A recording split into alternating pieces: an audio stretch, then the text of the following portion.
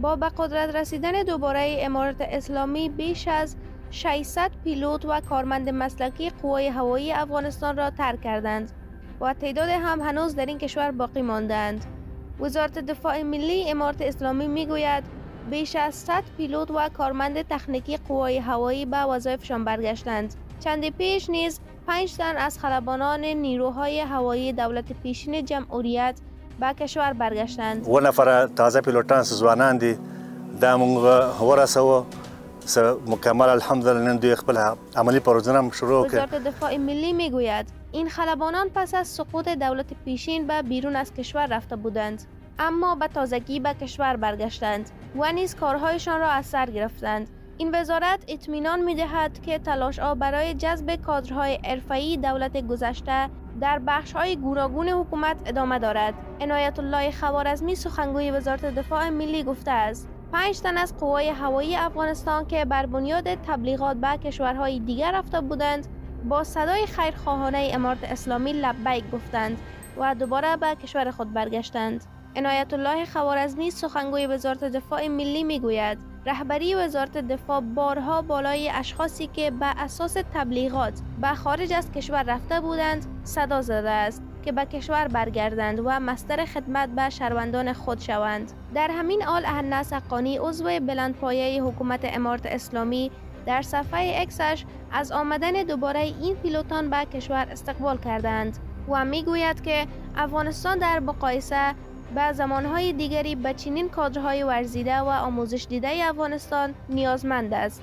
سرور نیازی آگاه مسائل نظامی گفته است افغانستان به دکتر مهندس، پیلوت، معلم و اما اقشار به ویژه افراد متخصص نیاز دارد. اختر محمد راسخ دیگر آگاه نظامی در این مورد می گوید آن کادرهایی که از افغانستان بیرون شدند وقت می خواهند که دوباره به وطن برگردند. باید زمینه کار برایشان به گونه درست مساعد شود. در زمان سقوط جمهوریت بیش از 140 خلبان و خدمه هواپیما با نزدیک به 40 هواپیماهای نظامی به تاجیکستان رفتند اما بسیاری از آن آنان به ایالات متحده پناهنده شدند. این در حالی است که چندی پیش گزارشی از سوی سازمان ملل متحد پخش شد که بر بنیاد آن بیش از صدها نظامی حکومت پیشین از زمان به قدرت رسیدن دوباره امارت اسلامی به افغانستان برگشتند. رسانه های امریکایی گزارش دادند که سه تن از پیلوت های آموزش دیده افغانستان در آمریکا در تمرینات نظامی به اثر سقوط تیارهشان